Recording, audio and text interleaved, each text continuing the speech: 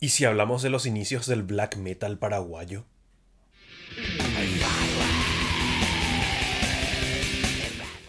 Buenas, me presento, soy Villa Delgado y hoy les quiero hablar de una parte no muy conocida de la historia de la música paraguaya. De hecho que lo que me inspiró a hacer este video fue que me puse a googlear cómo empezó esta movida acá y no encontré casi nada en internet. Si es que alguien sabe algo es porque lo vivió o porque se lo contaron de forma informal en alguna parte. Pero no hay registro de cómo se originó el black metal en Paraguay uno de los estilos más extremos de la música en general. Lo que voy a hacer en este video es tratar de explicar un poco de acuerdo a testimonios que estuve juntando de algunos músicos y testigos de aquellos años. Antes de empezar justamente quiero agradecer a Sebastián Núñez y a Lucas de The Order of the Southern Witnesses, a Andrés Benítez de Sabaot y a Dino Redes, uno de los pioneros del género como músico y como fan. Gracias a toda la info que me aportaron ellos pude armar este rompecabezas. Bueno, antes de hablar del black metal paraguayo hay que hablar de lo que fue el black metal noruego, del que claramente se inspiraron acá los perros. Corría a mitad de los 80s en Oslo, capital de Noruega, cuando un grupo de amigos liderados por el joven Oystein Arset,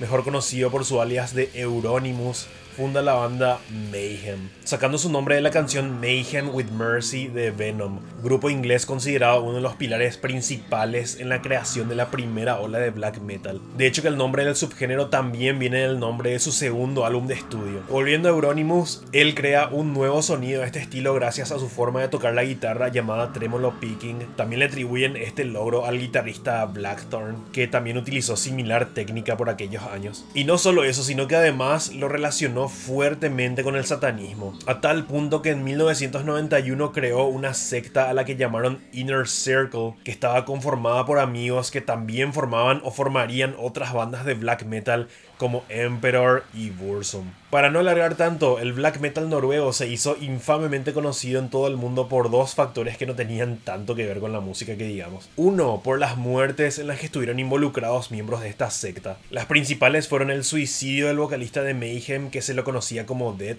El 8 de abril de 1991 ocurrió esto.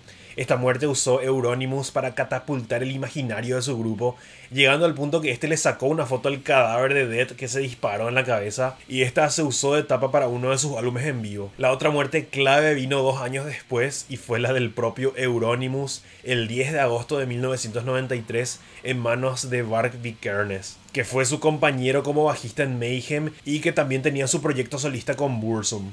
Dos, por la quema de iglesias que varios miembros de la comunidad Blacker noruega fueron responsables. Y fue Varg al que atribuyen como el primero en empezar esta movida pirómana. La tapa del primer EP de Bursum es luego una foto que se sospecha que tomó él mismo de una de las primeras iglesias quemadas. Por si hacían falta pruebas nomás de su culpabilidad. Hay muchos detalles que no menciono para perder el foco. Si quieren adentrarse más a los inicios del black metal noruego, les recomiendo el video Black Metal más allá de la polémica que hizo el argentino Matías Parkman en su canal de YouTube, está buenísimo. Y la película producida por Vice en el 2018, Lords of Chaos. Ahora sí, a lo nuestro. Año 1986.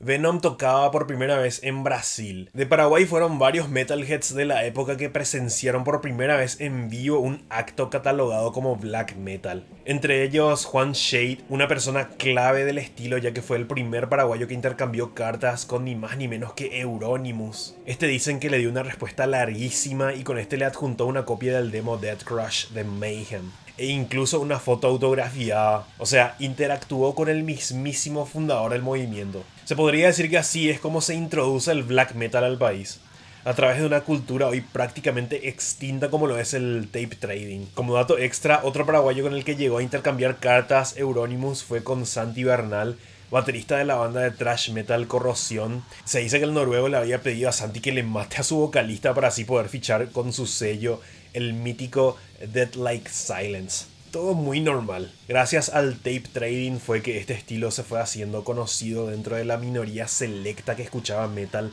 a finales de los 80s y principios de los 90. Personajes de la escena como Darío alias Zorro, Mauro Florentín y Dino Redes, entre tantos otros, fueron fanáticos que enviaban y recibían materiales de bandas que ni se conocían aún por acá. Así, de mano en mano se iban haciendo conocidas bandas como Merciless, Maceration, Bursum, Samael de Suiza y Sarcófago de Brasil. Por supuesto, estos intercambios se daban también con otras ramas del metal aparte del black metal. Este estilo se empezaba a conocer con ese sistema.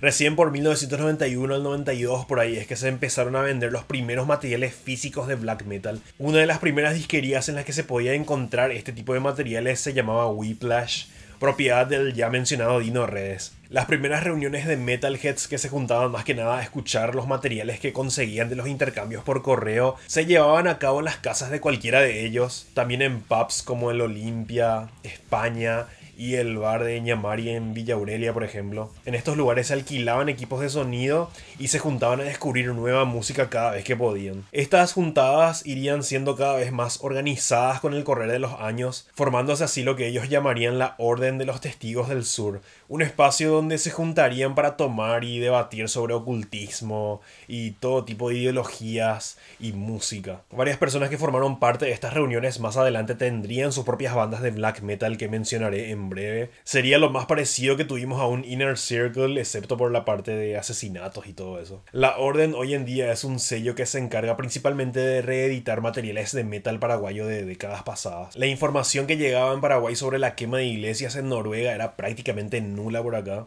Así es como se afianzaron los medios autogestionados como Scream Trashers y gracias a revistas extranjeras como la Metal de Argentina fue que los metaleros locales se enteraron de esos sucesos que acá inspiraron a un nuevo tipo de escena, mucho más oscura y tenebrosa que lo que se venía escuchando. Allá por 1992, poco antes de que existan bandas de black metal en Paraguay, las bandas más convocantes de la escena eran Corrosión y más tirando al death metal estaban los Funeral. Las primeras incursiones con el black metal se dieron allá por 1991-92 en los ensayos que participaron el baterista Jorge Carrón Dino Redes y Polo Campos. Según testimonio de Dino, en esas primeras zapadas lo que trataban era de emular el sonido de la banda suiza Celtic Frost. Poco tiempo después se apartarían Redes y Paul para formar más adelante sus propias bandas, Ancestral y Disincarnated respectivamente.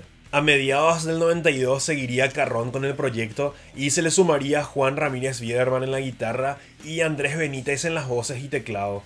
Estos tres hombres se pasarían a llamar a partir de ese momento Lord Norak, Setias y Setinef, y formarían lo que hoy conocemos como Sabaoth, la primera banda de black metal del país. Sabaoth empezó tocando covers de grupos que les influenciaban bastante como Darkthrone y Samael, y a la par ya iban creando sus propias canciones que luego plasmarían en su primer demo de 1993 titulado Dentro del Culto que lo grabaron en el estudio Subterranean de José Pichón Florentín, cantante de Corrosión. Ya para este punto del relato te das cuenta que la escena era tan chica que me es inevitable repetir varios nombres de personas y de bandas. La cultura del do it yourself, hazlo tú mismo, era lo que mantenía a flote a toda una corriente musical que por su naturaleza misma estaba destinada a no encajar con los estándares de la sociedad paraguaya mayormente conservadora. Ese mismo año, en el 93, en la casa de Walter Moray, guitarrista de Se llevó a cabo finalmente la primera presentación en vivo de Sabaoth. Era la primera vez que salieron a tocar con el característico Paint Corps y toda la alegoría escénica del black metal. Cuentan testigos de aquella vez que al principio al público le descolocó un poco la puesta en escena. Imagínate que era la primera vez que se veía esta especie de ritual musical en la escena metalera, sumado al sonido del teclado y los gritos endemoniados de Setinef, o sea, habrá sido una cosa de locos. En el 93, otra banda aparecía con una propuesta centrada en el black metal. Esta fue Adonai, originaria del barrio Villa Aurelia de Asunción, y estaba conformada por David Lazar, José Valdés y Neri Roa, que eran compañeros del colegio y tenían en común que les gustaba mucho el heavy metal, hasta que de un día para otro decidieron formar su propia banda. Al principio ni sabían tocar sus instrumentos, pero eso fue cambiando con la práctica. Así como los Sabaoth, sus integrantes también optaron para tener nuevos nombres artísticos, así pasaron a llamarse Hien Saold, Sevlat y Rasaloth.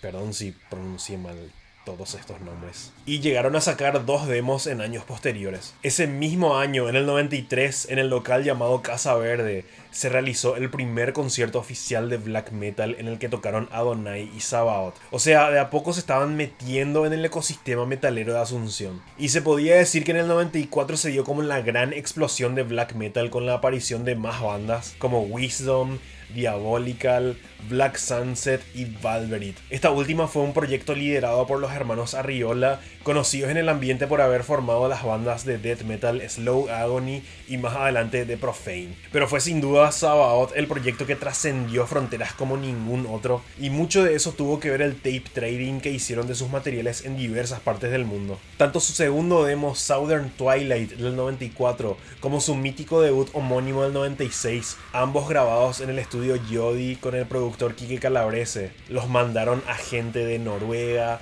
Suecia, Grecia, Japón, Francia, Estados Unidos. Setinev, Andrés, me llegó a contar que mandaba hasta 10 cartas por día en aquel entonces. Los intercambios eran lentos pero sumamente satisfactorios empezaron a ser entrevistados en medios europeos y su álbum recibió muy buenas críticas en diferentes revistas especializadas de la época. El punto cumbre de la banda llegó cuando fueron invitados para tocar en el primer festival de death y black metal latinoamericano en Buenos Aires, siendo ellos los únicos paraguayos en presentarse con otros grupos de la región, entre ellos los sarcófagos de Brasil encabezando el cartel. Un hecho que los mismos Sabaoth cuentan que no creyeron hasta que lo tuvieron frente a frente a sus ídolos y claramente una de sus principales influencias. Para cerrar, debo mencionar algo que también forma parte de la cultura del black metal. Me reservo a dar nombres, pero sí mediante testigos de la época puedo dar por hecho que acá en Paraguay también existieron actos de vandalismo hacia las iglesias por parte de fanáticos e integrantes de algunas bandas. Desde intento de incendios, acá no fue tan fácil quemar iglesias porque no son todas de madera como en Noruega. No es un menor dato ese tampoco. Hasta robo de imágenes, rotura de vidrios. También hubo casos de profanación de tumbas para decorar con huesos humanos los shows y las salas de ensayo. Y lo más turbio probablemente que también hubo intento de sacrificios de animales como gallinas y gatos. Mucho de esto tuvo que ver con las creencias que tenían algunas personas de la escena y también mezclados con el poco raciocinio de la juventud. Porque hay que tener en cuenta que la mayoría eran personas que estaban aún en el colegio lo estaban terminando. Algo que me causó gracia de todas las anécdotas que me contaron fue un rumor que se hizo correr por aquel entonces, que era que los Sabaoth supuestamente se concentraban en cementerios antes de cada show. Y es por eso que en algunos conciertos el público les tiraba cruces sacadas de los cementerios. En una de esas le acertaron en la cabeza a Setinev que quedó medio knockout pero el tipo continuó como si nada hubiera pasado para que el espectáculo siga. La verdad que fue una época cuanto menos fascinante de la música paraguaya de la que se habla muy poco. Va a sonar mega cliché, pero si hay algo que me quedó claro después de haber investigado tanto sobre el black metal que se hizo acá, es que no tuvo nada de qué envidiar a lo que se hizo en países nórdicos. Compartan este video porque en serio creo que mucha más gente tiene que saber lo que pasó acá. Mi nombre es Vidal Delgado hasta la próxima.